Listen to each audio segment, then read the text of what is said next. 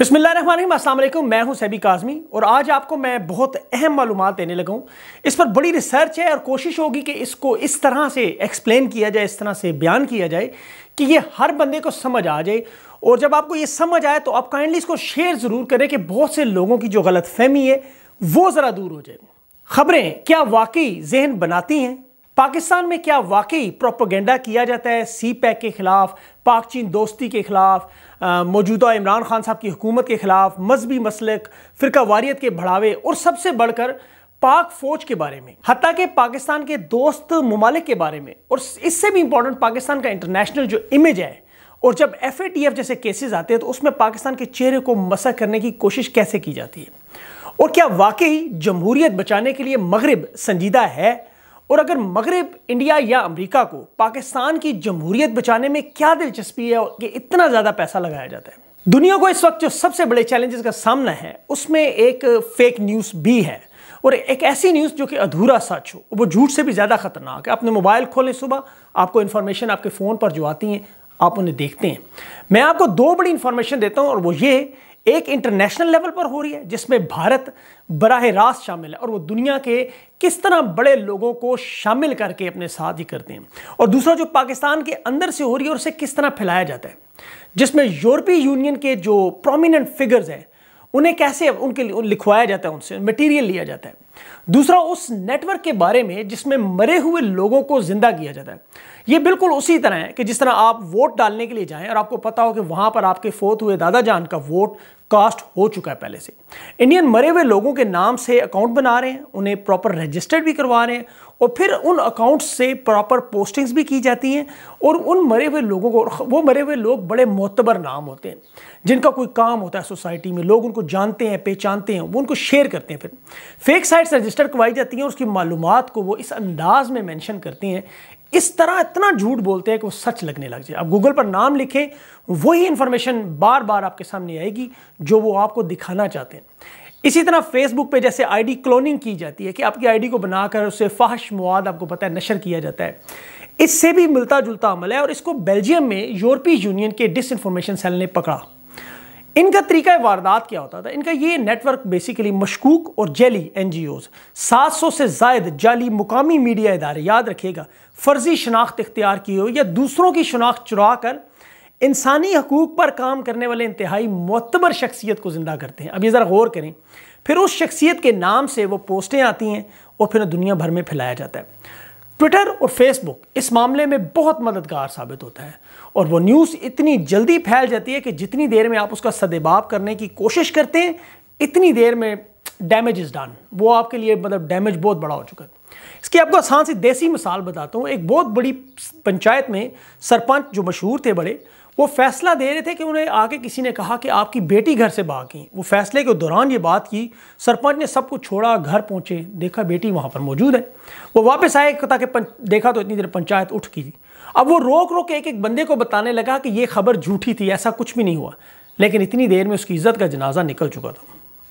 पाकिस्तान में ट्विटर पर अगर आप मोतबर लोगों की प्रोफाइल्स देखें तो और अपने स्टेज के इवन अदाकारों के नाम से बने हुए अकाउंट देखें। आप बड़े बड़े सियासतदानों के नाम से अकाउंट देखें तो आपको समझ आ जाएगी कि ये कैसे होता है। ये मैं आपको इंटरनली थोड़ा समझा रहा हूँ, फिर मैं इंटरनेशनल बात करता हूँ। अनवर मकसूद साहब इवन जो बड़े एक बड़ा हमारे दानश्वर थे, उनके नाम से रोज़ाना ऐसी ट्वीट्स आती हैं इदारों के खिलाफ, और वो बारहा कह चुके हैं, ये मेरा अकाउंट नहीं है। दुनिया में हार्वर्ड यूनिवर्सिटी के बड़े प्रोफेसर्स के लॉ मेकर्स लॉ के जो पढ़ाते हैं रिसर्चर्स के नाम से वो मतलब पाकिस्तान के खिलाफ ऐसा प्रोपोगंडा करते हैं, हालाँकि वो साहब कब के मर चुके होते हैं। लेकिन पेपर्स में वो कॉन्फ्रेंसेज अटेंड भी कर रहे हैं। और इसके अलावा इस नेटवर्क की हमत अमली का एक बड़ा अहम जुज ये है कि मीडिया के जो जाली मकामी इदारे होते हैं, वहाँ पर बनी हुई ख़बरों को जो इंडिया की सबसे बड़ी news wire agency A N A N I है, उसके ज़रिए इसको मोतबर करके फैलाते हैं आगे।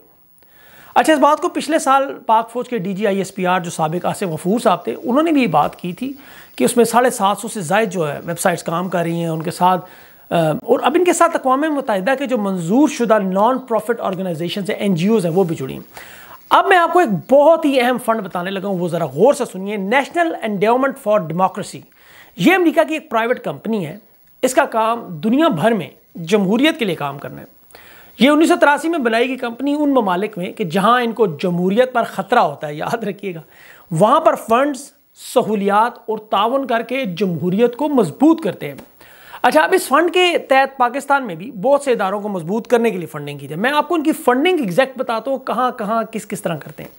मिसाल के तौर पर data journalism to foster government accountability transparency को इन्होंने चौहत्तर हज़ार डॉलर दिए। अब इन्होंने वुमेन जर्नलिस्ट जो है, उनकी इलेक्शन रिपोर्टिंग करती हैं औरतों की, वो जर्नलिज्म है। उनकी जर्नलिज्म जर्नलिस्ट को एक लाख पच्चीस हज़ार डॉलर दिए। फिर इन्होंने उन खुतिन को जो improving civil military relation through dialogue and monitoring अब ज़रा गौर करें कि जो सिविल मिलिट्री के ताल्लुक को बेहतर करने और उस पर नज़र रखने के लिए, उन शफाफियत के लिए एक इदारा, उसको एक लाख दस हज़ार डॉलर। म्यूज़िक प्रमोशन के नाम पर पैंसठ हज़ार डॉलर दिए गए।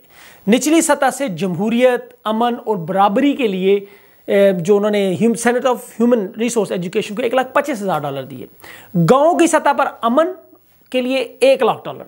सियालकोट में औरतों को सियासत में पावर करने के लिए चालीस हज़ार डॉलर दिए अब आप ये सारा पैसा ज़रा हिसाब करें, आपको अंदाज़ा होगा कि इतना ज़्यादा पैसा एक नॉन गवर्नमेंट कंपनी पाकिस्तान में क्यों दे रही है? इन्हें पाकिस्तान की डेमोक्रेसी से इतनी ज़्यादा क्यों दिलचस्पी है? और आपको गौर करेंगे तो आपको अंदाज़ा होगा ये पैसा कहाँ लगता है और क्या ये पैसा वाकई इन्हीं कामों में लगता है? ये जो आपको बड़ी बड़ी रैलियाँ लिबरल मार्च ख़वान मार्च मोमबत्ती मार्च मुहिम नज़र आती है तो आखिर उनके पास ये पैसा कहाँ से आता है? मैं ये नहीं कह रहा ये पैसा वहाँ लगता है, लेकिन उनके पास कहाँ से आता है? अमेरिका के ही एक इदारे दिखैरो इंस्टीट्यूट, उनकी आप रिपोर्ट पढ़ें तो वो साफ़ कहते हैं कि इस कंपनी का फंड सिर्फ़ मुंतखब हुकूमतों को हरासा करने के लिए इस्तेमाल होता है और इस कंपनी का काम अपनी फ़ॉरन पॉलिसियाँ बनाना टैक्स पेयर्स के पैसे को गलत इस्तेमाल करना, कोल्ड वॉर में किरदार अदा करना जबकि उन ममालिक में ख़ास तौर पर जहाँ जमहूरियत ठीक ठाक चल रही हो, ये वहाँ पर क्यों मुदाखलत करते हैं? इनकी फंडिंग क्यों की जा रही है? ये फ़ॉरन इलेक्शन पर उनकी जमहूरियत पर असरअंदाज क्यों होते हैं? अब अमरीका दुनिया में शोर में चाहता है, जी ट्रंप साहब जी, मेरे इलेक्शन पे फलान असरअंदाज हो गया। मैं आपको उनकी सपोर्ट से चलने वाले नेटवर्क की कुछ खबरों का बताता हूँ। अब आप ये खबरें देख लें, कुछ खबरें, उसके बाद आप खुद फैसला करें कि ये आमतौर पे कैसे काम करते हैं। इनकी जो खबरें होती हैं वो किस अंदाज में?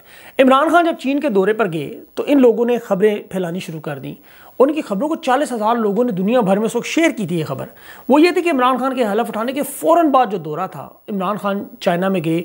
इमरान खान को चीन में कोई अहमियत नहीं दी गई जी। इमरान खान के सी पैक पर घटिया पैगाम दिखाए गए और इमरान खान को चीन ने शर्मिंदा किया। अब ये खबरें थी।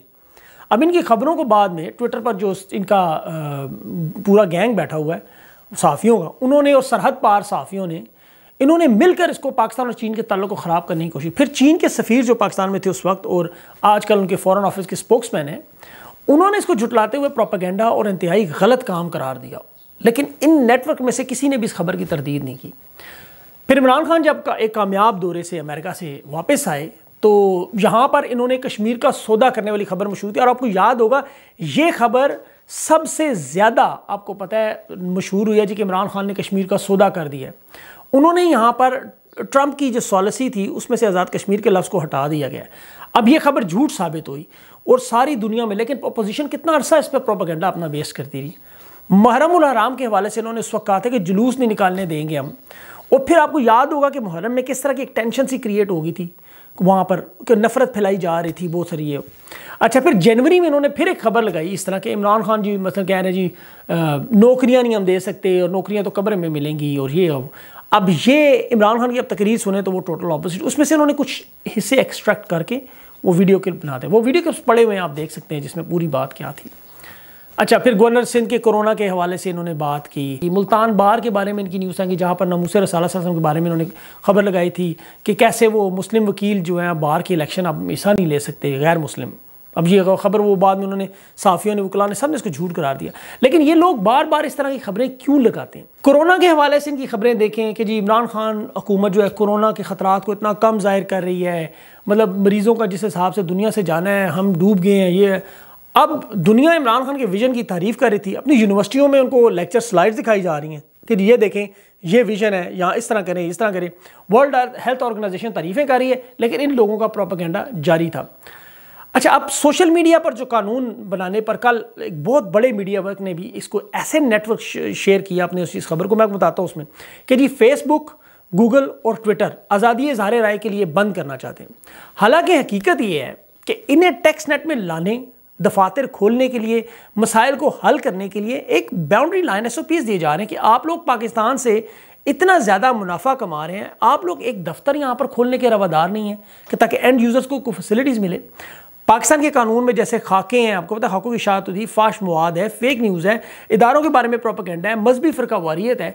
अब इस सारे नेटवर्क में जो आप इंडिया से फैलाया हुआ मवाद यहाँ पर नशर करके फैलाते हैं, उसे रोकें तो सेंसरशिप का नाम दे दें। आपको याद होगा अहमद दुरानी की एक स्टोरी जो कि फौज पाकिस्तान के बारे में सी पैक को टारगेट किया गया था। ये वही स्टोरी थी जो इंडियन मेजर गौरव आराया पहले से पब्लिश कर चुका था और वो बता चुका था।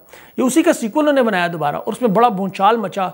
इसमें वो याद होगा आपको ट्विटर पे जो अकाउंट बने थे वेबसाइट रजिस्टर्ड हुई रातों रात, और फिर उसके बाद ट्विटर के अकाउंट चेंज हुए, फिर प्रोपागेंडा इस अंदाज में किया गया, इतनी जल्दी सर्कुलेट हुआ, आपने देखा वो सारा मामला किस तरह फैला। फिर अब पाकिस्तान ने फाश साइट को बंद किया हुआ है। टॉरेंट्स है जो फ़िल्म डाउनलोड इस तरह की चीज़ें होती हैं। उनको बंद किया हुआ है। मज़हब के बारे में गुस्ताखी की जाए तो उसको वो बंद करने की कोशिश करते हैं। अब ये क्या इसमें क्या गलत क्या है? मुझे तो नज़र नहीं आता, लेकिन इस अंदाज में लोग बात फैलाते हैं कि जैसे पाकिस्तान का नाम दुनिया के ममालिक में है, जहाँ आज़ादी इजहार राय नहीं है, जहाँ लोग अपनी मर्ज़ी से जी नहीं सकते, वगैरह हालाँकि वीपीएन के थ्रू आप ये सारा कुछ कर सकते हैं। हालाँकि ट्रंप इन्हीं के इदारों पे, इन्हीं के मुल्क में, इन्हीं के इदारों पे, इनके मुँह पर इनको फेक न्यूज़ कहते रहे। ट्विटर पर ट्रंप की एक ट्वीट जो वो इलेक्शन पर असरअंदाज ना हो, उसको डिलीट कर दिया। हालाँकि ट्रंप के मिलियंस ऑफ़ फॉलोअर्स हैं नाइन्टी पता नहीं कितने मिले। लेकिन पाकिस्तान के मजहबी इकदार में सोशल इकदार में इनकी नज़र में कोई अहमियत नहीं रखते। और अफसोस इस बात का है कि इनका साथ देने वाले पाकिस्तान के अंदर भी बहुत से साफ़ी ऐसे मौजूद है जिनका ज़ाती एजेंडा है। अभी आपने रिसेंटली नजम सेठी साहब का स्कैंडल सुना होगा। अब आप देख लें इनके इनके साथ साथ के बाकी लोगों के, कि किस अंदाज में सेंसरशिप के नाम पर मीडिया के नाम पर, ख़बरों के नाम पर इंडियन नेटवर्क और मगरबी मीडिया किस तरह पाकिस्तान में काम कर रहे हैं।